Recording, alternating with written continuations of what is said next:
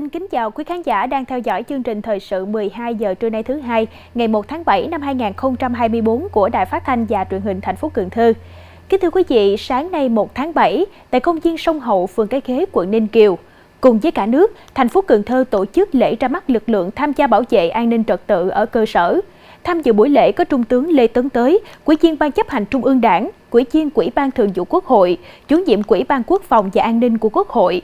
ông Nguyễn Xuân Hùng, Phó Chủ tịch Tổng Liên đoàn Lao động Việt Nam, ông Nguyễn Văn Hiếu, Ủy viên dự khuyết Trung ương Đảng, Bí thư Thành ủy Cần Thơ, cùng các đồng chí trong ban thường vụ thành ủy, lãnh đạo thành phố, sở ngành, quận quyện và 728 cá nhân đồng cốt đại diện cho trên 3.000 thành viên của lực lượng tham gia bảo vệ an ninh trật tự ở cơ sở trên địa bàn thành phố Cần Thơ. Tại buổi lễ, đồng chí Trần Việt Trường, Phó Bí thư Chủ tịch Quỹ ban nhân dân thành phố Cần Thơ nhấn mạnh tầm quan trọng của các lực lượng dân phố, dân phòng và công an xã bán chuyên trách đã có nhiều đóng góp cho công tác đảm bảo an ninh trật tự trong thời gian qua. Đồng thời mong muốn khi ra mắt và đi vào hoạt động, lực lượng này tiếp tục phát huy truyền thống, đóng góp nhiều hơn nữa trong công tác an ninh trật tự tại địa phương. Tại buổi lễ, lực lượng tham gia bảo vệ an ninh trật tự ở cơ sở đã phối hợp với các lực lượng chức năng thực hiện diễu hành và diễn tập thực binh tình huống tham gia nhiệm vụ bảo vệ an ninh trật tự ở cơ sở. Quỹ ban kiểm tra quận Quỹ Ninh Kiều tổ chức hội nghị sơ kết công tác kiểm tra giám sát 6 tháng đầu năm 2024, triển khai nhiệm vụ công tác 6 tháng cuối năm nay. Trong 6 tháng qua, các cấp quỹ trực thuộc đã ban hành kế hoạch kiểm tra giám sát năm 2024 với 71 nội dung kiểm tra giám sát, tập trung vào việc thực hiện chỉ thị nghị quyết quy định của Đảng, chính sách pháp luật của nhà nước, việc chấp hành điều lệ Đảng, nguyên tắc và hoạt động của Đảng, thực hiện quy chế dân chủ ở cơ quan đơn vị, công tác phòng chống tham nhũng tiêu cực, việc tu dưỡng rèn luyện đạo đức, lối sống của cán bộ đảng viên, việc đẩy mạnh học tập và làm theo tư tưởng đạo đức phong cách Hồ Chí Minh, thực hiện trách nhiệm nêu gương của cán bộ đảng viên, nâng cao chất lượng sinh hoạt chi bộ, cấp ủy các cấp giám sát thường xuyên đối với 95 lượt tổ chức đảng, 38 cấp ủy viên với 6.263 lượt đảng viên. Ủy ban kiểm tra các cấp giám sát thường xuyên đối với 162 lượt tổ chức đảng với 8.268 đảng viên. Qua công tác kiểm tra giám sát trong 6 tháng đầu năm 2024, cấp quỹ và ủy ban kiểm tra các cấp đã thi hành kỷ luật một tổ chức đảng và 18 đảng viên. Mới đây, Ban chấp hành đảng bộ phường An Bình, quận Ninh Kiều tổ chức hội nghị mở rộng nhằm đánh giá tình hình thực hiện nhiệm vụ 6 tháng đầu năm và triển khai nhiệm vụ 6 tháng cuối năm 2024. Nổi bật công tác xây dựng đảng, xây dựng hệ thống chính trị tiếp tục được quan tâm chỉ đạo thực hiện kịp thời. Công tác giáo dục chính trị tư tưởng trong hệ thống chính trị được tăng cường, tổ chức triển khai và thực hiện nghiêm túc các nghị quyết, chỉ thị, kết luận của Trung ương, thành phố và quận. Trong 6 tháng kết nạp được 6 đảng viên mới, tổ chức trao 16 huy hiệu đảng cho đảng viên cao niên tuổi đảng Công tác giám sát kiểm tra được thực hiện nghiêm túc, thường xuyên, theo quy định, từ đó góp phần giữ gìn kỷ luật kỷ cương trong đảng. Tình hình kinh tế xã hội của phường tiếp tục phát triển ổn định. Trong 6 tháng đầu năm, thu thuế tổng nguồn được trên 8 tỷ 900 triệu đồng, đạt gần 60%, thu lệ phí môn bài hoàn thành đạt và vượt chỉ tiêu hơn 165%. Quyện quỹ Vĩnh Thạnh vừa trao quyết định chuẩn y kết quả bầu bổ sung bí thư chi bộ Ngân hàng Chính sách quyện Vĩnh Thạnh nhiệm kỳ 2020-2025. Ban Thường vụ huyện ủy Vĩnh Thạnh thống nhất chuẩn y đồng chí Nguyễn Mạnh Hoài, đảng viên chi bộ, phó giám đốc phòng giao dịch ngân hàng chính sách xã hội huyện giữ chức vụ bí thư chi bộ phòng giao dịch ngân hàng chính sách huyện Vĩnh Thạnh nhiệm kỳ 2020-2025. Cũng trong thời gian này, Ủy ban nhân dân huyện Vĩnh Thạnh cũng công bố quyết định phân công bổ nhiệm đồng chí Nguyễn Minh Cần, Bí thư Đảng ủy thị trấn Thạnh An, nhiệm kỳ 2020-2025, giữ chức vụ chánh thanh tra huyện thời hạn 5 năm từ ngày nhận quyết định trao quyết định phê chuẩn kết quả bầu ông Lê Minh Thiện giữ chức Phó Chủ tịch Ủy ban nhân dân xã Thành Mỹ và bà Hồ Kim Oanh giữ chức Phó Chủ tịch Ủy ban nhân dân xã Thành Tiến, nhiệm kỳ 2021-2026. Quỹ ban Mặt trận Tổ quốc Việt Nam quận Ô Môn vừa tổ chức hội nghị sơ kết công tác 6 tháng đầu năm 2024.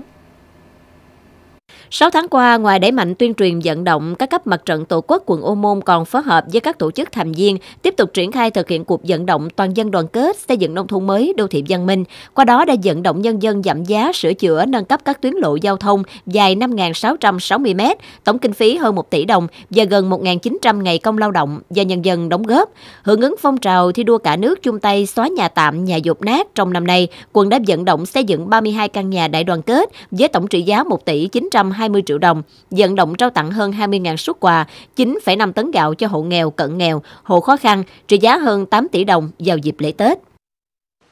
Mới đây, Ủy ban Mặt trận Tổ quốc huyện Phong Điền tổ chức hội nghị góp ý dự thảo nghị quyết của Hội đồng Nhân dân quyện trình tại kỳ họp thứ 14 khóa 12 nhiệm kỳ 2021-2026. Đó là dự thảo nghị quyết về tình hình thực hiện nhiệm vụ kinh tế xã hội quốc phòng an ninh 6 tháng đầu năm và nhiệm vụ giải pháp 6 tháng cuối năm 2024. Các ý kiến đóng góp yêu cầu đơn vị soạn thảo cần chỉnh sửa nội dung, bổ sung số liệu về thực hiện các chỉ tiêu nhiệm vụ trong báo cáo. Bên cạnh đó, các đại biểu cũng đề xuất bổ sung vào phương hướng nhiệm vụ 6 tháng cuối năm 2024 như quan tâm công tác vận động bảo hiểm y tế khi tăng lương từ ngày 1 tháng 7 năm 2024, các ngành cần phải cố gắng để đạt được các chỉ tiêu đề ra. Còn tại huyện Thới Lai, đoàn giám sát của Ban chỉ đạo thực hiện chính sách bảo hiểm xã hội, bảo hiểm y tế huyện do ông Nguyễn Văn Quang, Ủy viên Ban Thường vụ huyện quỹ, Phó Chủ tịch Thường trực Quỹ ban Nhân dân huyện Thới Lai làm trưởng đoàn, đã có buổi làm việc với Ban chỉ đạo thực hiện chính sách bảo hiểm xã hội, bảo hiểm y tế xã Trường Thành về kết quả thực hiện 5 tháng đầu năm 2024. Trong năm tháng qua, xã Trường Thành tập trung tuyên truyền các chính sách bảo hiểm xã hội, bảo hiểm y tế đến với người dân với nhiều hình thức phong phú đa dạng. Đến ngày 31 tháng 5, toàn xã có 173 người tham gia bảo hiểm xã hội đạt gần 61%, độ bao phủ bảo hiểm y tế đạt hơn 79%. Ngoài ra, từ ngày 1 tháng 6 đến ngày 26 tháng 6 vừa qua, đã vận động mới 7 người tham gia bảo hiểm xã hội và vận động gia hạn tiếp tục 573 thẻ bảo hiểm y tế. Tại buổi làm việc, ông Nguyễn Giang Hoàng, Phó Chủ tịch Thường trực Ủy ban Nhân dân huyện đề nghị xã cần tiếp tục đẩy mạnh hơn nữa trong công tác tuyên truyền bằng các hình thức như pano áp phích tờ rơi để người dân hiểu về mục đích ý nghĩa, quyền lợi và tầm quan trọng khi tham gia bảo hiểm xã hội, bảo hiểm y tế, đồng thời quan tâm củng cố bổ sung ban chỉ đạo để đảm bảo được tinh thần phân công chỉ đạo, phối hợp chặt chẽ giữa đại lý thu với cộng tác viên các ấp, ra soát, bám sát danh sách đối tượng tham gia theo từng thời gian để tuyên truyền vận động phát triển mới và gia hạn thẻ khi đến hạn. Hội Chữ Thập Đỏ quận Cái Răng tổ chức sơ kết công tác hội và phong trào Chữ Thập Đỏ 6 tháng đầu năm và triển khai chương trình công tác 6 tháng cuối năm 2024. Trong 6 tháng đầu năm 2024, Hội Chữ Thập Đỏ quận phối hợp thực hiện phong trào Tết Nhân Ái, tổ chức được hai phiên chợ nhân đạo đạt 340% chỉ tiêu, hoạt động tháng nhân đạo đạt trên 130%, trợ giúp 5 địa chỉ nhân đạo tổng trị giá 25 triệu đồng, đạt 100% chỉ tiêu. Trong 6 tháng đầu năm, các cấp hội chữ thập đỏ trong quận vận động quỹ sổ vàng nhận được gần 44 triệu đồng, tổ chức hai cuộc khám bệnh cấp thuốc miễn phí cho 180 người, tổng trị giá trên 41 triệu đồng, hiến máu tình nguyện đạt hơn 24%. Riêng dịp Tết và lễ hội Xuân Hồng vận động được 379 đơn vị máu, đạt 122%, tiếp nhận đăng ký 8 hồ sơ hiến mô, bộ phận cơ thể người, vận động xây mới một căn nhà chữ thập đỏ trị giá 50 triệu đồng. Sáng nay, Cục Thống kê thành phố Cần Thơ phối hợp với Ban dân tộc thành phố Cần Thơ, quận Ninh Kiều tổ chức lễ ra quân tổng điều tra, thu thập thông tin thực trạng kinh tế xã hội 53 dân tộc thiểu số năm 2024. Cuộc điều tra được thực hiện tại 54 tỉnh thành phố trực thuộc trung ương. Riêng ở thành phố Cần Thơ tiến hành điều tra thu thập thông tin tại 65 địa bàn thuộc 7 trên 9 quận huyện, bao gồm quận Ninh Kiều, Ô Môn, Cái Răng, Thốt Nốt, các huyện Vĩnh Thạnh, Cờ Đỏ và Thới Lai – Thời gian bắt đầu từ ngày 1 tháng 7 đến ngày 15 tháng 8 với mục đích thu thập thông tin về dân số, điều kiện nhà ở, thu nhập, đời sống của các hộ dân tộc thiểu số. Cái cuộc điều tra này là mình thực hiện trên cái cuộc KB, có nghĩa là cái điện thoại di động của mình. Có cái dàn mẫu và có những cái câu hỏi thì đề nghị các điều tra viên chấp hành đúng cái quy trình phỏng vấn. Tức là mình sẽ thực hiện đúng những cái câu hỏi của à, phương án quy định rồi mình à, trong cái nghiệp vụ à, tiếp cận với các hộ chọn mẫu, mình sẽ thực hiện hỏi các câu hỏi đó và mình ghi đúng cái thông tin trên cabi thì à, đối với cục thống kê và ban dân tộc trong cái sự phối hợp thực hiện cuộc điều tra này thì mong muốn là địa phương, các ban ngành, các cấp, nhất là phòng dân tộc của quận, huyện, tạo mọi điều kiện cho điều tra viên tiếp cận được với hộ các hộ chọn mẫu để mình thực hiện tốt cái công tác điều tra. Cuộc điều tra nhằm phản ánh thực trạng kinh tế xã hội của 53 dân tộc thiểu số để biên soạn các chỉ tiêu thống kê thuộc hệ thống chỉ tiêu thống kê quốc gia và hệ thống chỉ tiêu thống kê về công tác dân tộc, phục vụ xây dựng và hoạch định chính sách phát triển kinh tế xã hội cho các vùng dân tộc thiểu số giai đoạn 2026-2030. Kết quả của cuộc điều tra dùng làm cơ sở cập nhật hệ thống thông tin dữ liệu thống kê về dân tộc thiểu số tại Việt Nam. Hiện mẫu điều tra các hộ mẫu đã được cập nhật trên thiết bị CAPI, điện thoại của mỗi điều tra viên. Điều tra viên được yêu cầu thực hiện các cuộc phỏng vấn hộ mẫu đúng quy trình, ghi thông tin vào thiết bị điện thoại, thực hiện xác định GPS theo đúng yêu cầu của phương án điều tra. Tôi sẽ cập nhật trên hệ thống máy và cái thứ hai là tôi sẽ tiến hành trên là theo cái à, mật khẩu của à, của địa bàn của tôi và tôi sẽ à, bám vào cái danh sách mà bên chi cục thống kê đã đưa ra 30 hộ rồi à, tôi sẽ hỏi từng câu hỏi theo hệ thống máy hệ thống máy hỏi sao thì tôi sẽ lặp lại câu hỏi à, hỏi hộ chính xác thực tế và trung thực rồi tôi sẽ hỏi theo câu hỏi của à, vừa rồi là có tập huấn về bên tổng cục đó về bên chi cục thống kê đó là tôi sẽ hỏi từng câu hỏi trung thực và chính xác để có cuộc điều tra này thành công tốt đẹp. Để đạt chất lượng điều tra, ngành chức năng mong muốn các địa phương đẩy mạnh tuyên truyền liên tục thường xuyên, qua đó để mọi người dân biết, hiểu về mục đích, ý nghĩa của cuộc điều tra và ủng hộ tích cực cung cấp thông tin. Lãnh đạo Ủy ban nhân dân quận Bình Thủy vừa họp thông qua phương án thiết kế và danh mục thiết bị dự án chuẩn bị đầu tư. Tại cuộc họp, đơn vị tư vấn đã trình bày phương án thiết kế và danh mục thiết bị dự án xây dựng nhà ở cho trung đội dân quân thường trực. Theo đó, nhà ở được xây dựng mới trên diện tích 600 m2, quy mô một trệt một lầu và các hạng mục phụ trợ gồm sân đường, cây xanh, hệ thống cấp thoát nước, hệ thống chiếu sáng, hàng rào bảo vệ, công trình do Ban Quản lý Dự án và Phát triển Quỹ đất, quận Bình Thủy làm chủ đầu tư, khu trụ sở hành chính Ủy ban nhân dân phường Trà An được xây dựng và bàn giao đi vào sử dụng từ năm 2014 và trụ sở ban chỉ huy quân sự phường Trà Nóc được Ủy ban nhân dân quận Bình Thủy đầu tư xây dựng hoàn thành và đưa vào sử dụng từ năm 2015. Đến nay, hai công trình đã xuống cấp trầm trọng cần được nâng cấp sửa chữa. Lãnh đạo quận Bình Thủy thống nhất chọn phương án thiết kế 2 đối với công trình xây dựng nhà ở cho trung đội dân quân thường trực, đồng thời đề nghị đơn vị tư vấn phối hợp chủ đầu tư tiếp tục triển khai các bước tiếp theo đúng quy định. Đối với công trình nâng cấp sửa chữa trụ sở hành chính Ủy ban nhân dân phường Trà An và ban chỉ huy quân sự phường Trà Nóc, đề nghị đơn vị tư vấn phối hợp cùng ban quản lý dự án và phát triển quỹ đất quận, các phường khảo sát lại, đưa ra phương án sửa chữa phù hợp, đảm bảo sử dụng lâu dài, hoàn thiện hồ sơ thiết kế trước ngày 10 tháng 7 để thực hiện các bước tiếp theo. Cũng tại quận Bình Thủy, Hội cựu chiến binh quận phối hợp Hội cựu chiến binh phường Trà Nóc tổ chức lễ khởi công công trình mở rộng và nâng cấp tuyến hẻm 158 khu vực 4. Đây là công trình chào mừng Đại hội thi đua cựu chiến binh gương mẫu thành phố Cần Thơ năm 2024. Công trình có chiều dài hơn 145 m, rộng 4 m, dự kiến kinh phí 190 triệu đồng. Công trình dự kiến sẽ hoàn thành trước dịp kỷ niệm Ngày Cách mạng tháng 8, Quốc khánh 2 tháng 9 thực hiện phong trào cựu chiến binh gương mẫu giai đoạn 2019-2024, Hội cựu chiến binh quận Bình Thủy và các phường đã vận động cán bộ hội viên đã gương mẫu tự nguyện hiến 500 m2 đất để xây dựng và mở rộng các tuyến đường giao thông, tham gia đóng góp trên 3 tỷ 500 triệu đồng để nâng cấp sửa chữa trên 6 km đường giao thông, lắp hơn 1.000 cột cờ trồng gần 10.000 cây xanh, ra quân vệ sinh mé nhánh cây che khuất tầm nhìn, làm cỏ dài gần 32 km và đóng góp gần 1.700 ngày công lao động. Ông Nguyễn Thành Út, Chủ tịch Quỹ ban Nhân dân huyện Thới Lai vừa có buổi làm việc với các ngành có liên quan và các xã thị trấn về ra quân đợt 2 trồng qua phát quang dớt lục bình trên các tuyến kênh rạch trên địa bàn. Trong đợt 1, huyện tổ chức ra quân thực hiện môi trường trên các tuyến sông kênh rạch trên địa bàn huyện đạt nhiều kết quả tốt. Cụ thể, tổ chức phát quan bụi rậm trồng được 3.600 cây bần trên các tuyến đường giao thông nông thôn tại các ấp trên địa bàn huyện. Tổ chức dớt rác, dớt lục bình được 21 tuyến kênh rạch, góp phần khai thông dòng chảy, tạo cảnh quan môi trường trên địa bàn 13 xã thị trấn. Trong đợt 2, huyện Thái Lai sẽ trồng 8.100 cây bần, phát quan các tuyến đường, dớt rác, dớt lục bình tại 13 tuyến kênh rạch do 13 xã thị trấn đăng ký, với tổng chiều dài gần 25 km dự kiến thời gian ra quân thực hiện trong tháng 7 này. Quận đoàn Bình Thủy tổ chức và chỉ đạo các đoàn phường đồng loạt ra quân ngày cao điểm chiến sĩ tình nguyện xây dựng đô thị sáng xanh sạch đẹp văn minh tại các tuyến đường trên địa bàn quận, thu hút hơn 400 đoàn viên thanh niên và chiến sĩ tình nguyện tham gia.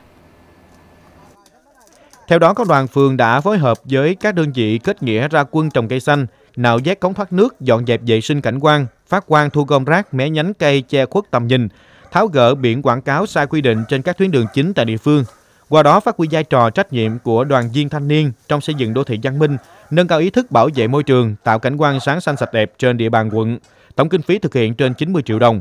Được biết, qua một tháng ra quân hưởng ứng chiến dịch tình nguyện hè, các cấp bộ đoàn quận đã ra quân thực hiện các công trình phần việc như khám bệnh, cấp thuốc miễn phí, làm đường tặng quà, ra quân ngày thứ bảy tình nguyện Chủ nhật xanh, tổng trị giá trên 500 triệu đồng. Phường Long Tuyền, quận Bình Thủy vừa tổ chức hội thi nấu ăn gia đình điểm 10 nhân kỷ niệm 23 năm Ngày Gia đình Việt Nam. Có 10 đội tham gia trong thời gian 60 phút, mỗi đội gồm 3 thành viên tham gia nấu bữa cơm gia đình cho 10 người với 3 món chính như lẩu, mặn, xào và trang trí đẹp mắt, thuyết trình ý nghĩa của bữa cơm gia đình. Kết thúc hội thi, ban tổ chức đã trao giải nhất, nhì, ba và khuyến khích cho các đội tham gia. Giải nhất thuộc về khối đảng đoàn thể phường. Quỹ ban Mặt trận Tổ quốc Việt Nam phường Châu Giang Liêm, quận Ô Môn phối hợp cùng chùa Giác Thành tổ chức trao quà cho hộ có hoàn cảnh khó khăn trên địa bàn. Theo đó, ban tổ chức đã trao 300 phần quà, mỗi phần quà gồm gạo, mì, nhu yếu phẩm trị giá 250.000 đồng cho bà con có hoàn cảnh khó khăn trên địa bàn phường Châu Giang Liêm. Tổng kinh phí cho hoạt động này là 75 triệu đồng do công ty truyền thông Silicon Tech tài trợ.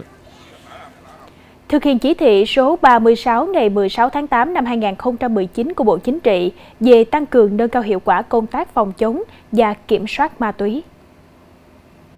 Trong 5 năm qua, Công an quận Ô Môn phối hợp với các cơ quan ban ngành đoàn thể quận, tham mưu cho quận ủy, ủy ban nhân dân quận thực hiện tốt công tác nắm tình hình, quản lý đối tượng, kịp thời phát hiện, xây dựng kế hoạch đấu tranh với tội phạm hiệu quả. Từ năm 2020 đến 2024, Công an quận triệt phá 92 vụ, 129 đối tượng mua bán vận chuyển tàn trữ trái phép chất ma túy. Riêng 6 tháng đầu năm nay, triệt phá 9 vụ với 12 đối tượng. Quận quản lý tốt đối tượng nghiện, đối tượng có tiền án về ma túy, có biện pháp giáo dục, Hiện nay quận có 113 người nghiện ma túy, trong đó có 55 người cai nghiện tại cơ sở bắt buộc. Quý vị và các bạn thân mến, vừa qua tại cuộc thi dự án khởi nghiệp tiềm năng trong học sinh sinh viên, trường Đại học Cần Thơ mở rộng năm 2024 đã diễn ra thành công khi đã chọn ra được những dự án khởi nghiệp đầy tiềm năng xuất sắc. Trong đó, dự án khởi nghiệp Connect của nhóm Connect đã vinh dự đạt giải ba với tính thiết thực mang lại cho cộng đồng đăng ký tài khoản, tìm kiếm, gọi vốn, kết nối, theo dõi, bán hàng. Đó là quy trình hoạt động của trang web kết nối các startup và các nhà đầu tư hàng đầu Việt Nam. Dự án khởi nghiệp đạt giải ba của nhóm Connect trường Đại học Cần Thơ. Đi khảo sát một số bạn bè của em uh, tại cái ngôi trường mà em học thì em được biết là các bạn nghĩ rằng thì các bạn có rất là nhiều ý tưởng hay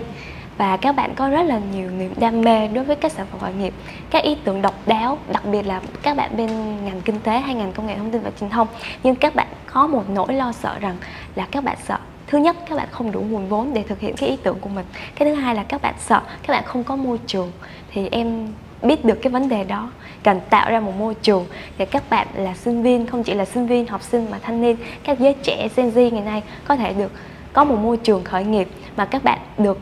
hỗ trợ về mọi mặt.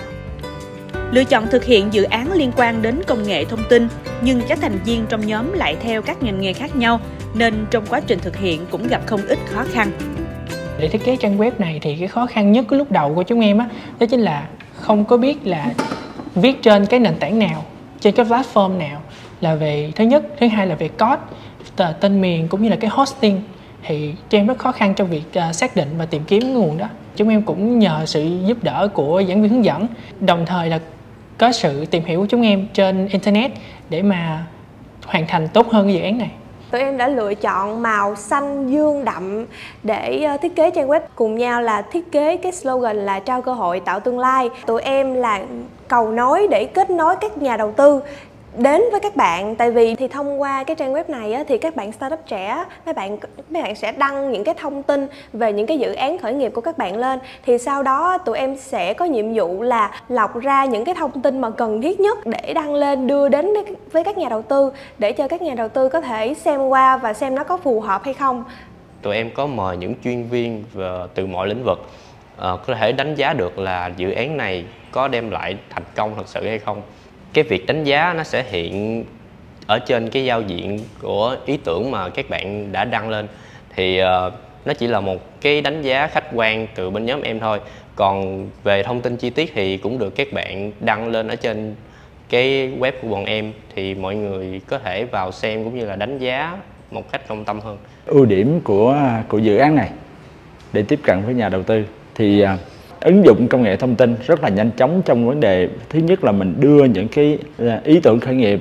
những cái biện pháp hoặc là những cái sản phẩm khởi nghiệp à, vào cái trang web này. Sau đó thì à, những cái thông tin liên quan đến những cái ý tưởng khởi nghiệp này hoặc là những cái nghiên cứu này nó sẽ à, à, được giới thiệu đến những nhà đầu tư thông qua việc kết nối những nhà đầu tư. Thì sau đó thì nếu những nhà đầu tư nào mà họ xác định là những cái sản phẩm khả thi hoặc là những ý tưởng khả thi thì họ sẽ kết nối lại thông qua trang web này sẽ sẽ giúp cho à, cái vấn đề về kết nối nó sẽ nhanh chóng hơn.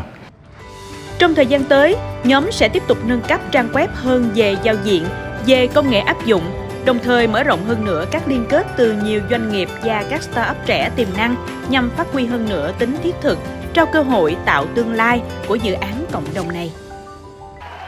Và những thông tin vừa rồi cũng đã khép lại chương trình thời sự trưa 12 giờ của Đài Phát thanh và Truyền hình thành phố Cần Thơ hôm nay. Hẹn gặp lại quý vị và các bạn vào những bản tin tiếp theo. Xin chào tạm biệt và hẹn gặp lại.